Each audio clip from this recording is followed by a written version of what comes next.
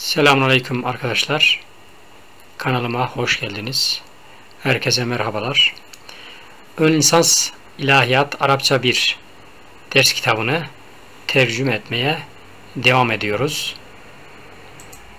Bir önceki derste aksam-ı sebayı görmüştük.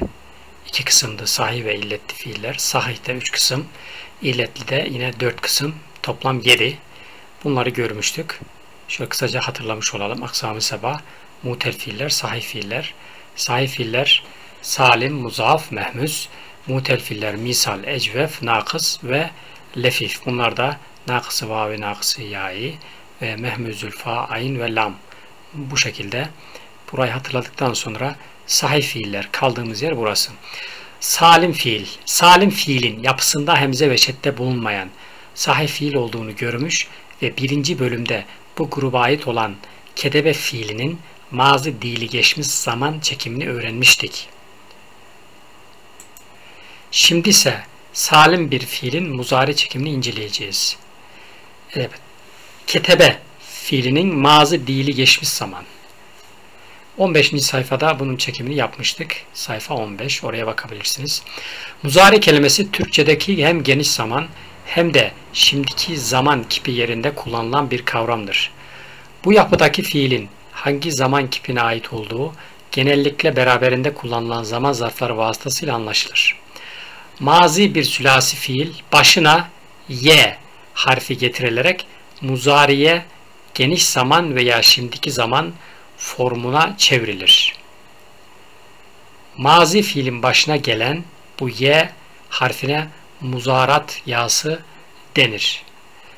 Evet, y harfi gördüğümüz zaman bilelim ki o fiil muzari fiil. Yine muzarat, evet muzarat yası, muzarat harfleri var. Eteyne, elif, t, y ve nun. Yine bunları gördüğümüz zaman da o fiilin muzariye ait olduğunu kolaylıkla anlayabiliriz. Eteyne, elif, ya, ta ve nun. Arapçada fiillerle ilgili adlandırmalarda feale kelimesinin den türetilen kimi kavramları görmüştük. Sadece fiiller için değil, fiilden isim türetmede de feale kelimesi kullanılarak kalıplar, forumlar, vezinler türetilir. Bu sözcüğün harf isimlerinden hareketle bütün sülasi fiillerin ilk harfine faul fiil, ikinci orta harfine aynül fiil, son harfine ise lamül fiil adı verildiğini bir kez daha hatırlayalım. Arapçada bütün sülasi fiillerin mazi Evet, Arapçada bütün sülasi fiillerin mazi ve muzari yapıları birlikte incelenip değerlendirildiğinde bunların mazi ve muzari formda altı farklı kalıptan ibaret olduğu görülmüştür. Yani sülasi mücerret, altı bab o denmek isteniyor. Bu farklılık aşağıdaki tabloda da açıkça görüleceği üzere mazi ve muzari yapılarda aynı fiilinin harekesinin değişiyor olmasından kaynaklanmaktadır. Yani mazi ve muzari'de aynel fiilinin harekesi değişiyor. Zaten oradan e, fiillerin hangi baptan geldiğini anlıyoruz. Gerek baştaki muzarat harfinin harekesi, gerekse fail fiiliyle lamel fiillerin hareketleri fiilden fiile herhangi bir değişim göstermez. Aşağıdaki tabloda incelendiğinde 1, 2 ve 3. kalıptaki fiillerde mazi formlar hep aynıdır. Bütün harfler feta ile harekelidir. Bu üç grup fiil mazi yapıları aynı olmakla birlikte muzari yapılarında aynül fiilin harekelerinin damme, zamme, kesira ve feta olmasıyla ayrışmaktadırlar. Dördüncü, beşinci ve altıncı kalıptaki yani baptaki fiiller hem mazi hem de muzari yapılarında aynül fiilin harekesinin farklılaşmasıyla ayrışmaktadırlar. İşte burası biraz karışık ama aşağıda çok kolaylıkla anlayabileceğiz. Bu kalıplara ilişkin tablo şöyledir. Şimdi biliyorsunuz ki Arapça iyi anlayabilmek için sarf ve nahivi öğrenmek gerekiyor. Şimdi buradaki bablar sarf ilminde bina kitabında geçiyor. Bina kitabının başında sülasi mücerret 6 bab var. Normalde bina kitabında 35 bab var. Çok kullanılanlar bu 6 bab ve buna ziyade 6 baba ziyade olarak 12 bab daha var. Bunlar da 4, 5 ve 6 harfli olduğu için rubai, humasi, südasi. Yani 6 bab ve 12 bab. Toplamda 18 bab. Arapçada çok kullanılan bablar. Bunların şu an için göreceğimiz 6 babı 3 harfli olan. Bunlar da evet kalıp olarak burada geçiyor ama bunların normalde bina kitabında, sarf ilminde Evet, bina kitabında ilk başlangıçta, kitabın başında sülasi mücerret işlenmekte. İleriki zamanlarda emsile bina maksut, sarf ilminin kitaplarında emsile bina maksutta Arapçasından tek tek işleyeceğiz. Arapçasından Türkçe'ye tercüme şeklinde. Mesela el babul evvel faale yef'ulu alametuhu bu şekilde. Türkçesi hiç yok. Sadece Arapçası. Ve asıl yani sarf ilmi emsile bina maksut. O kitapların tercümesini yakında yükleyeceğiz. Şimdi devam edelim. Sülati mücerret 6 bab. Evet. Faale yef'ulu bu birinci kalıp. Yani birinci bab. Binada birinci bab diye el babul evvel diye geçer. Faale yef'ilu ikinci bab. Faale yef'alu üçüncü bab. Faile yef'alu dördüncü bab. Fe'ule yef'ulu 5. bab. Fe'ile yef'ilu 6. bab. Şurayı bir okuyalım. Bu tabloya göre fiillerin birinci, ikinci ve üçüncü kalıplarının 1, 2, 3 kalıplarının mazi geçmiş zaman faale, faale, faale. Bunun üçü de mazi 1 ve 2. 3. bab. Formunda herhangi bir değişikliğe uğramadığına dikkat ederiz. Evet. Hepsi de aynı. Aynı şekilde muzari formunda da fiilin ilk iki ve son harflerin harekeleri aynıdır. Evet. İlk ve son. Y, Y, Y, Y. Evet, lü, lü, lü, lü. Bu şekilde. Aynıdır. Mazi ve muzari fiillerin kalıplarına göre harekelerindeki değişikliklerin sadece aynül fiilin harekelerinde olduğuna dikkat ediniz. Yani mazide ve muzaride değişiklik sadece aynel fiili ortada oluyor. Değişiklik yapılan aynel fiilin harekeli kırmızı ile gösterilmiştir. Şimdi faale yef'ulu bu birinci bab. Aynel fiili mazide meftuh, muzaride mezmum. Faale yef'ilu mazide meftuh, muzaride meksur. Faale yef'alu Üçüncü babda hem mazide hem muzaride meftuh. Feta. Fe'ile yef'alu mazide meftuh, muzaride meksur. Fe'ule yef'ulu maz ve muzaride mezmum, damme. Fe'ile yef'ilu maz ve muzaride meksur.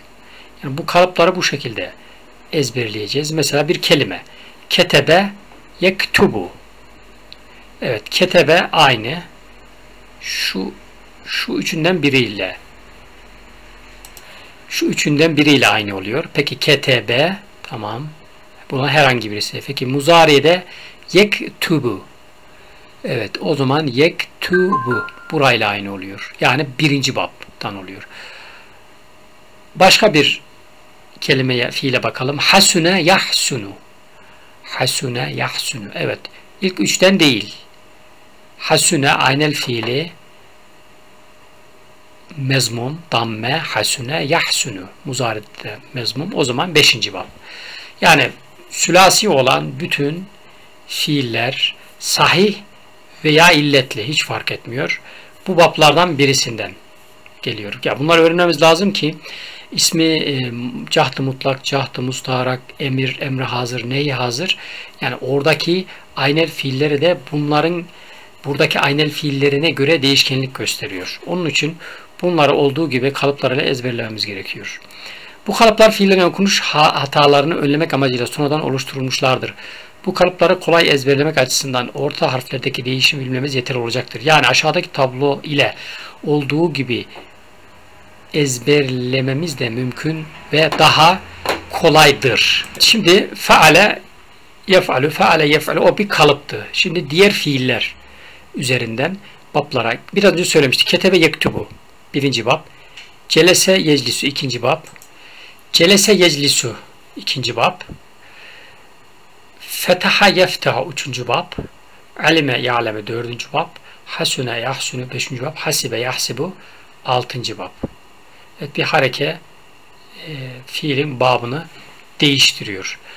Peki bunu kısaca yani ezberlemek için şöyle bir şiir şeklinde Fethu evet şu yani şuradakiler mazide aynel fiili şu maziye işaret ediyor. İşaretleyelim. Şuradan işaretleyelim. Şu şekilde.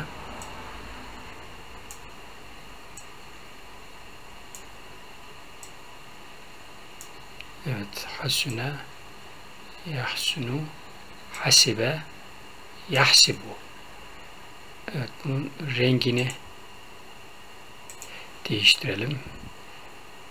Ketebe yektubu yektubu burası yeclisu şu kesre burası biraz silindi. Yeftah yalem feta yahsun damme yahsib bu kesra. Evet. Fethu dammun yani fetha damme. Ne fetha? Aynel fiili, aynel fiili. Mazide ve muzarede. Fetha, mazide, muzarede damme. Fetha, kesra. Fetha, fetha. Yani fetaha yeftehu. Kesra, fetha. Alime, ya'lemu. Damme, damme. Hassune, yahsunu. Kesra, kesra. Hasibe, yahsibu. Bunu binada şu şekilde söylüyoruz. Fetu dammun, fetu kesrun, fethatan. Yani iki fetha. Kesru fethun, dammü dammün, kesratan. Evet, fetu dammün, fetu kesrun, fethatan. Kesru fethun, dammü dammün, kesratan. Böyle şiir gibi bu şekilde. Evet, bu kalıplar olduğu gibi ezberlememiz gerekiyor. Kalıplar öğrendikten sonra sülasi bir fiili mazisi hareketsiz olarak yazılıp kalıbı söylendiğinde artık o fiili mazi ve muzari formu doğru olarak telaffuz edilmelidir, edilebilmelidir. Birinci kalıptan itibaren aynül fiilin harekeleri dikkate alınarak oluşturulmuş olan aşağıdaki tekerleme farklı bir ezberleme metodu olarak işe yarayabilir. Biraz önceki söylediğimiz fetha damme, fetha kesra fethatan, kesra fetha damme damme kesratan. Evet, fethatan iki fetha yani fetha fetha. Neresi? Burası fetaha yeftahu. T t. Kesratan iki kesra. Si si. Hasibe yahsibu. Evet. Bu şekilde. Evet şimdilik bu dersten de bu kadar. Burada yani sarf ilminde çok önemli olan bablardan ilk altı babı, sülasi mücerred, üç harfi olan altı babı görmüş olduk. Aksamı sebayı kısımlara ayırdık. Onlar hangileri nakıs vavi, yayi, ecvef vavi ve nasıl, ne şekilde geliyor bunları görmüş olduk. Evet bir sonraki derste görüşmek üzere. Allah'a ısmarladık. Selametle kalın.